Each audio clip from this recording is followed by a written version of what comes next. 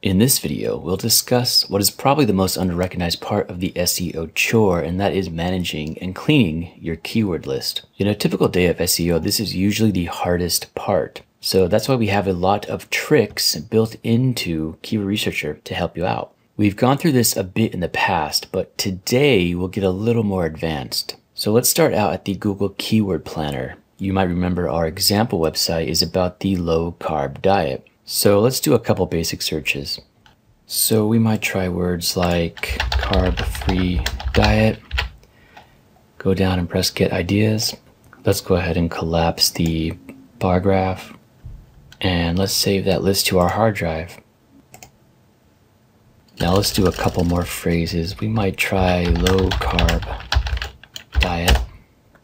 Let's save that one to our hard drive. And let's do one more. How about low carbohydrate diet?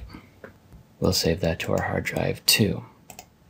So this is typically how an SEO day starts out. You usually start out at the Google Keyword Planner and you type in some general ideas and then you get some CSVs on your hard drive. You can see our three files right there. We've been through this before, so let's quickly now import our files into Keyword Researcher. So we'll start up Keyword Researcher and click Start. Now let's go ahead and collapse our article tree so we have some more room. And we'll click on our Import to CSV File tab. Let's drag this over a bit so we can see. And of course, to bring in our three files, we simply drag them into the green drop zone. Now we got over 1,500 keywords from those files. Let's go ahead and click this move button here and that will move the files into our keyword grid. Let's go ahead and slide our panel over to make some more room and see what we got. Okay, so we just moved our keywords into our main project. So typically at this point you want to sort by the average monthly searches. We can do that by right clicking on the column header and then just clicking the Z through A button that will put the largest values on top. And let's take a brief moment to understand the three different types of keyword lists.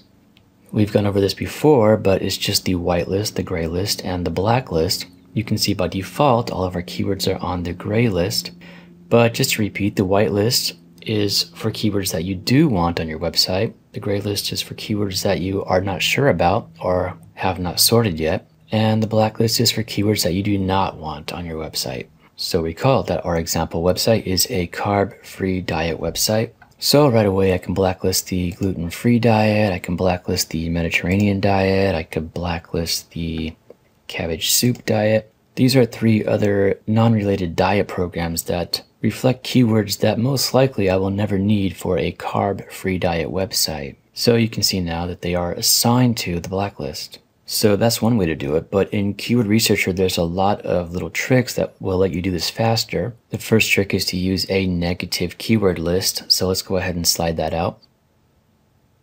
So in this box, I can type words that I know that I'm not going to need on this website. So I know right away that because I have a carb-free diet website for my example website, I'm not going to need the word gluten, so we'll just type that here and click apply.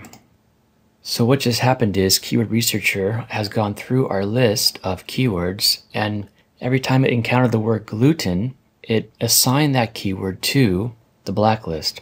This top one here, we actually did that with our mouse, but we can see that the app has affected all the gluten words. We can type in the word gluten in the search box and we'll notice that this particular project has four keywords that contain the word gluten and all four of them are now on the blacklist. So this is the value of the negative keyword list tab. A big part of proper keyword list management is maintaining a good negative keyword list for your project. Because now in the future, every time I bring in new keywords from a CSV file or whatever, those keywords will be immediately blacklisted and I never have to actually look at them again. So it's important to understand and use this negative keyword list tab. But now let me show you an even faster way. Let me slide this over and I'll clear our search filter. Let's go ahead and hide our suggested bid column to get some more room. We can click the eyeball icon here and that will hide the column. We'll slide this over a bit So recall, the example website is a carb-free diet website. So this means I'm not really interested in detox diet or anything to do with detox. So what I can do is hold the Alt key down on my keyboard and click the detox. And you notice what happened is that the word detox just flew up to the top right here of our negative keyword list. And Keyword Researcher has gone through our entire keyword list and searched for any word that contained the word detox. You can see it found two, detox diet and detox diets, plural. And those two words have just been assigned to the blacklist. Let's do it again. I don't need the Dukan diet, so I can alt click on Dukan, and you can see the same thing happened. In this case, it only found one keyword that contained Dukan. But let's try some others, like HCG diet. I just blacklisted two more there. Let's scroll down a little bit and look for some more keywords to blacklist here. You can see here we have diet pills, and if we don't actually sell diet pills, then we can add that to the negative keyword list. And we just moved six more keywords to the blacklist. Here we have a bread product, Ezekiel bread. Here we have a keyword diabetic, now, recall we have a low carb diet website, and perhaps the owner of this website would use this keyword, but in this example, let's assume that he didn't have any information for diabetics, so let's all click on that word. And we just sent five more keywords to the blacklist. Okay, so just in the few moments I've been talking, you can see we actually sent 22 keywords to the blacklist. So that's 22 keywords that we'll never have to worry about again for this project. So again, in the future, as we bring in new keywords to our project, if any of those keyword phrases contain these keywords, they'll be immediately put on the blacklist and we never have to worry about them. We don't even have to see them if we don't want to because in the top here we have our list filters. If I click this, I just see the whitelist and we haven't whitelisted anything, so there's nothing there.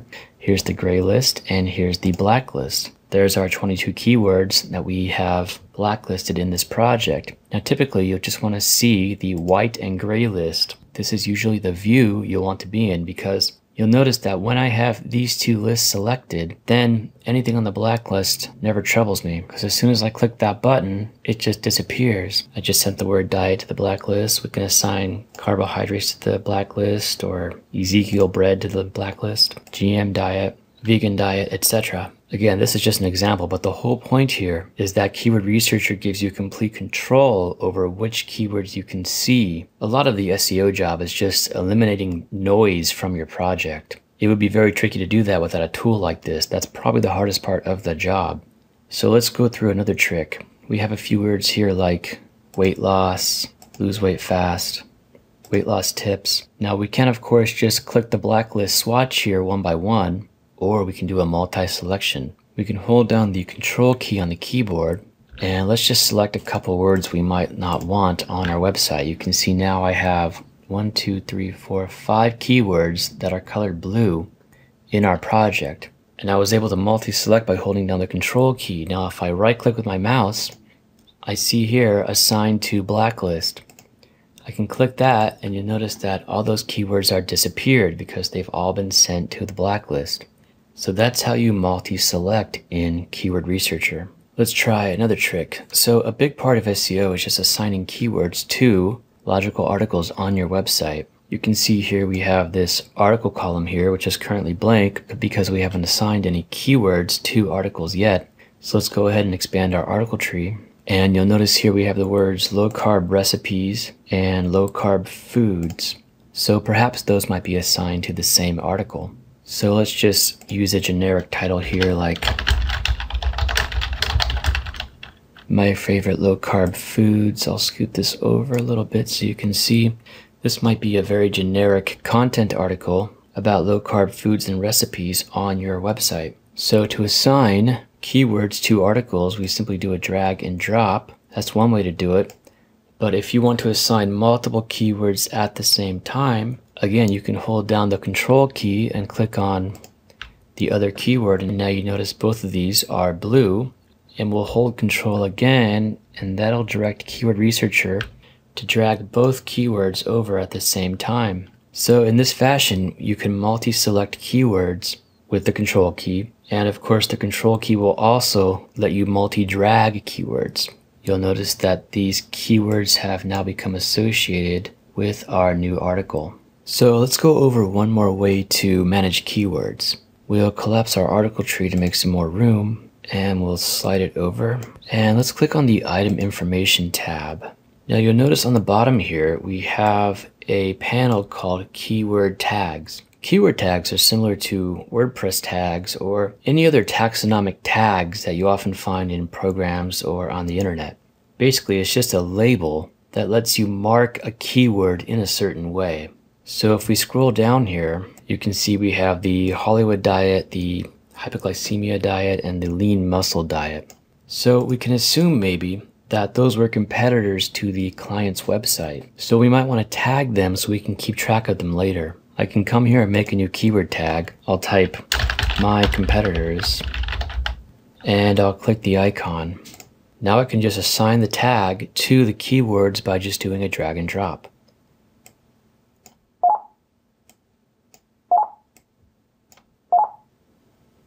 So these three keywords are now tagged with the label my competitors. Now you can see that if I drag this down here, you'll notice the little gray tag here in the assign keywords tag section. I have three keywords selected right now, but I can just select the top one and we see the same thing. Or I can move my article tree over and let's go ahead and hide our article column to get some more room. And you'll notice the tag is also printed here as well next to our three keywords. This is very useful because if you ever wanted to locate just these three keywords again, if you ever wanted to locate your competitors, then you can just click on the integer here and you'll notice that our grid has now been sorted so that it only shows our three competitors. This is really very useful because it allows you to view only the keywords that you are concerned about at any given time for as many number of keyword tags that you make and that can be very useful. So I hope you enjoyed this video on keyword list management in Keyword Researcher. And if you have any questions, contact us via the website. Thanks for watching.